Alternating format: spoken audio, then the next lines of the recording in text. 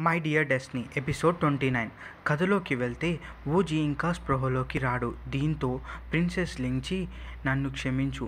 నేను మన చివరి అవకాశాన్ని కూడా పోగొట్టాను. నేను ఎంత తెలివి లేని దాన్ని నేను పిచ్చిదాన్ని అని చెప్పి తనకు తానే తిట్టుకుంటూ ఉంటుంది. ఇలా తిట్టుకుంటూ ఉన్న తర్వాత తన కన్నీళ్ళు ఊజీ చర్మం పైన పడతాయి. ఇలా పడ్డ తర్వాత ఊజీ చిన్నగా కదిలిస్తాడు తన చేతిని. కానీ ఇది ప్రిన్సెస్ లింగ్జీ చూడదు. చూడకపోయేసరికి నాకు తెలుసు నువ్వు నన్ను లవ్ చేయట్లేదు అని చెప్పి కాకపోతే నువ్వు చనిపోయిన తర్వాత నీ అస్థికలు ఖచ్చితంగా చౌచింగ్లీకే ఇస్తాను. కానీ నీ జ్ఞాపకాల్ని మాత్రం నాతోటే ఉంచుకుంటాను. అలాగే ఈ బ్రాస్లైట్ ఉంది కదా ఇది ఎవరికి ఇయ్యను. నా దగ్గర నేనే ఉంచుకుంటాను అని చెప్పి అంటుంది. ఇలా అని చాలాసేపు ఏడ్చుకుంటూ ఉంటుంది. ఇవన్నీ మెల్లగా ఊజి ఇనుకుంటూ ఉంటాడు. ఆ తర్వాత కళ్ళు తెరిచి ఏంటి? అస్థికలేంటి? అసలు ఏమంటున్నావు అని అంటే "ఆ, నువ్వు సరే ఓకే. నీకు మెలకు వచ్చింది కదా? సరే అసలు ఇప్పుడు ఏం చేద్దాం? వెంటనే డాక్టర్ దగ్గరికి వెళ్దాం పదా? అంటే నా మీద జరిగింది డార్క్ విచ్ దాడి. కాబట్టి ఇలాంటి డార్క్ మ్యాజిక్కి నార్మల్ డాక్టర్స్ ఎలాంటి వర్క్ చేయరు. కాకపోతే నేను ఒక ప్రిస్క్రిప్షన్ ఇస్తాను. ఇది వెళ్ళి నువ్వు మెడికల్ షాప్లో తీసుకొని రా. అలాగే ఎవరికీ కనిపించకు. అలాగైతేనే మంచిది అని చెప్పి వూజీ అంటాడు. ఇలా అన్న తర్వాత తను ఏడ్చుకుంటూ ఉంటుంది. సరే అని చెప్పి తర్వాత ప్రిన్సెస్ లింగ్జీ నేను వెళ్తాను అని చెప్తుంది. మరోవైపు జీబేచెంగ్ మరియు తన భటులు అందరూ కలిసి ఒక దగ్గర డిన్నర్ చేస్తూ ఉంటారు. ఇలా చేస్తూ ఉంటే కొంతమంది మనుషులు వచ్చి ప్రిన్సెస్ లింజీ గురించి మరియు ఊజీ గురించి సర్చ్ చేస్తూ ఉంటారు. ఒకవేళ వీళ్ళు వస్తే ఖచ్చితంగా మాకు ఇన్ఫామ్ చేయండి రాజకోట నుంచి అని చెప్తారు. ఇలా చెప్పిన తర్వాత మీరు అసలు ఎవరు ఎతుకమంటున్నారు అని అంటే మీరు ఎవరితోటైతే గొడవ పెట్టుకోవద్దో వాళ్ళతో అని చెప్పిన తర్వాత అప్పుడు జీబేచింగ్ అక్కడ ఉన్న ఒక సోల్జర్ని చంపేస్తాడు. చంపేసిన తర్వాత ఎవరు అని అంటే లేడీ లింగ్ అని అంటారు. అసలు లింగ్జిన్సీ ఎందుకు లింగ్జీని వెతుకుతుంది అని చెప్పి తను కన్ఫ్యూజ్ అవుతాడు. అసలు ఏ ప్రమాదంలో ఇరుక్కున్నావు చెల్లెలు? అని చెప్పి తనకు తానే బాధపడుకుంటూ ఉంటాడు. అలా ఆ తర్వాత అక్కడికి భటులు వస్తారు కావచ్చు అని చెప్పి అక్కడున్న హోటల్లో ఉన్న వాళ్ళందరినీ చంపేస్తారు. మరోవైపు ప్రిన్సెస్ లించి అనుకున్నట్టే మెడికల్ షాప్కి వెళ్తుంది. వెళ్ళిన తర్వాత ఇలాంటి ప్రిస్క్రిప్షన్ నేను ఎప్పుడూ చూడలేదు. అసలు ఏ గాయాన్ని మాన్పియడానికి అంటే మీరు ఫస్ట్ మెడిసిన్ ఇవ్వండి అని చెప్పి గట్టిగా మొత్తుకుంటుంది ప్రిన్సెస్ లింగ్జీ సరే అని చెప్పి అన్ని మెడిసిన్స్ని చూస్తాడు. కానీ ఒక మెడిసిన్ మాత్రం లేదు అని చెప్తాడు. అది మౌంటైన్స్ పైన దొరుకుతుంది అని చెప్పి అంటాడు. ఆ తర్వాత లింజీ వెళ్తుంది వూజీ దగ్గరికి. వెళ్ళిన తర్వాత తనకి ఒక సూప్ని తయారు చేసి ఇస్తుంది.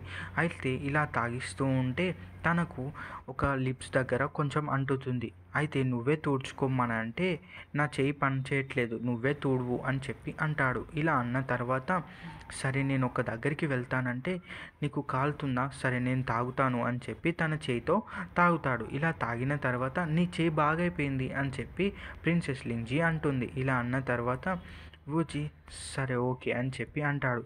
తర్వాత తను బ్లాంకెట్ తీసుకొని బయటికి వెళ్ళిపోతుంటే అసలు ఏమైంది? నువ్వు మన ఇన్ని రోజులు ఒకటే రూమ్లో పడుకున్నాం కదా అంటే నువ్వు ఇప్పుడు వేరే అమ్మాయిని లవ్ చేస్తున్నావు అని చెప్పి తన మనసులో అనుకొని అక్కడి నుంచి వెళ్ళిపోతుంది.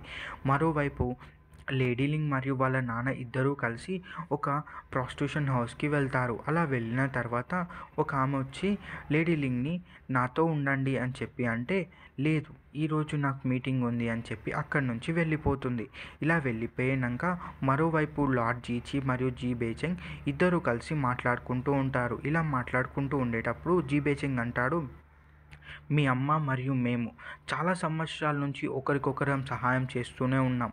అవును మా అలయన్స్ ఎవరికీ తెలీదు. కాబట్టి నువ్వు రాజు కావడానికి మేము హెల్ప్ చేస్తాం. కానీ నాది ఒక షరతు. అదేంటంటే నువ్వు ఎప్పుడైతే రాజు అవుతావో అప్పుడు మా జీ బేచింగ్ ట్రైబ్ అంటే బేచింగ్ ట్రైబ్ యొక్క అన్ని ల్యాండ్స్ని మాకు ఇచ్చేసేయాలి. కాబట్టి మేము ఆ ల్యాండ్లో మాకు నచ్చినట్టు ఉంటాం. అని అంటే సరే నేను డీల్ ఇప్పుడైతే తీసుకుంటాను. నేను రాజు అయ్యాక ఏం చేసినా కూడా వీళ్ళేం చేయగలరు అని చెప్పి లార్డ్ జీచి అనుకుంటాడు. ఇలా అన్న తర్వాత ఇద్దరు ఒకరికొకరు చేర్చి చెప్పుకుంటారు. ఇలా చెప్పుకున్న తర్వాత సో టు బీ కింగ్.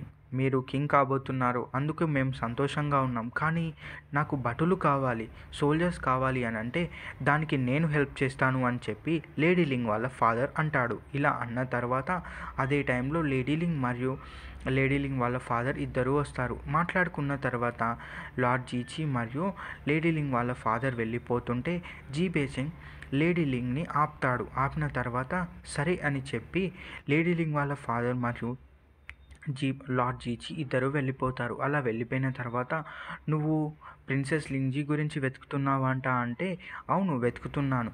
తన దగ్గర ఉన్నది వూజీ తను విచ్ ట్రైబ్ నుంచి వచ్చాడు. తనకేమైనా ప్రమాదం జరుగుతుంది అని చెప్పి నేను తన గురించి వెతుకుతున్నాను. అలాగే వూజీ చౌచింగ్లీ యొక్క పాత ఫ్రెండ్ నా మీద అటాక్ కూడా చేయబోయాడు. నీకేమైనా అయిందా? అని చెప్పి జీ బేచెంగ్ అంటాడు. అలా అన్న తర్వాత నాకు ఏమీ కాలేదు. నువ్వు బాధపడకు. అదే టైంలో నా సోల్జర్స్ వచ్చారు. అందుకే అప్పుడు తనని హాస్టేజ్గా లే లింగ్జీని తీసుకొని వెళ్ళాడు. అందుకే నేను వెతుకుతున్నాను. అంటే సరే ఆ వుజ్జికి ఎంత ధైర్యం? నేను నిన్ను క్షమించమని అడుగుతున్నాను.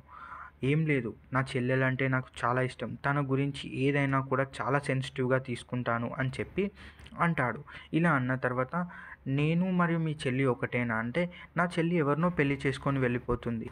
నువ్వే నాకు ఎక్కువ అని చెప్పి జీ బేచెంగ్ అంటాడు. అలా అన్న తర్వాత తనని దగ్గరికి తీసుకుంటాడు. దగ్గరికి తీసుకున్న తర్వాత నువ్వు నాతో ఉండవా? అని అంటే లేదు ఉండను. అని అంటే సరే ఈరోజు వెళ్ళిపో అని అంటాడు.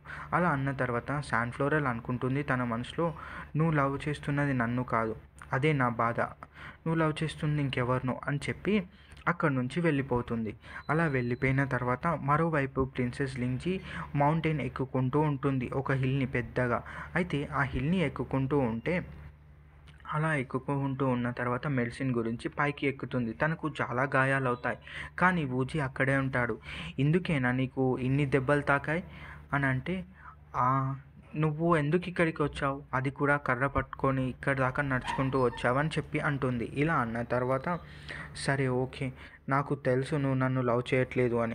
నువ్వు చౌచింగ్లీనే లవ్ చేస్తున్నావు అని. అంటే అప్పుడు బూచి అంటాడు నేను చౌచింగ్లీని చిన్నప్పటి నుంచి కేర్ తీసుకున్నాను. కానీ నేను ఆ కేర్ని ప్రేమ అనుకున్నాను. కానీ ఎప్పుడైతే లావుని మరియు చౌచింగ్లీని చూశానో అప్పుడే నాకు అర్థమైంది. నేను తనని ప్రేమించట్లేదు అని. అంటే నువ్వు నన్ను ప్రేమిస్తున్నావా? అంటే నేనేం చెప్పను అని చెప్పి ఊజీ అనుకుంటాడు తన మనసులో. తర్వాత చిన్నగా నవ్వుతాడు. సరే ఓకే నేను వెళ్తాను అని చెప్పి వూజీ వెళ్ళుకుంటూ ఉంటాడు. అయితే వూజీ యొక్క కర్రను పక్కకు పడేసి అప్పుడు కర్ర చాలా అన్కంఫర్టబుల్గా ఉంది కదా నా భుజం మీద చేయి వేసుకొని వెళ్దాం పద అని చెప్పి అప్పుడు ప్రిన్సెస్ లింగ్జీ మరియు వూజీ ఇద్దరు నడుచుకుంటూ ఉంటారు. ఇలా వెళ్తూ ఉండగా వెళ్ళాక తొందరగా మెడిసిన్ ట్రై చేద్దాం అని చెప్పి ప్రిన్సెస్ లింజీ అంటుంది చాలా సంతోషంగా. మరోవైపు చౌచింగ్లీ లావు ఇద్దరూ కలిసి ఒకే రూమ్లో ఉంటారు. అప్పుడు చౌచింగ్లీకి ఒక పెద్ద పీడకల వస్తుంది. అలా వచ్చిన తర్వాత తను వెంటనే లేస్తుంది. లేచిన తర్వాత లావు ఏం కాదు అని అంటాడు నువ్వు నా బెడ్ దగ్గర ఎందుకున్నావు? నైట్ నుంచి ఇక్కడే ఉన్నావా? అంటే లేదు నువ్వు కల వచ్చింది అందుకే నేను ఇక్కడ ఉన్నాను. ఇప్పుడే వచ్చాను మీటింగ్ తర్వాత అంటే అయినా కూడా నేను నీ దగ్గర ఉండద్దా? నువ్వు నా వైఫ్కి కదా? నా లవర్ కూడా? అని అంటే ఉండొచ్చు. ఉండొద్దని నేను ఎప్పుడు అన్నాను అన్న తర్వాత లావు తనకు చెక్కిలి గిల్లలు పెడతాడు. ఇలా పెట్టిన తర్వాత అప్పుడు తనని కిస్ చేసుకోవాలి అని అనుకుంటాడు. అలా అనుకున్న టైంలోనే అప్పుడు తన భటుడు వచ్చి మిమ్మల్ని కలవడానికి జనరల్ వచ్చారు అని చెప్పి అంటే జనరల్ ఇది ఖచ్చితంగా ఇంపార్టెంట్ అయి ఉండాలి. లేదంటే నిన్ను అస్సలు వదిలేను అని చెప్పి లావు అక్కడి నుంచి కోపంగా వెళ్ళిపోతాడు. మరోవైపు కాన్సర్ట్ డావగర్గావ్ ఇప్పుడు నార్మల్ సన్యాసిలాగా ఉంటుంది. తన టైటిల్ కూడా పోతుంది.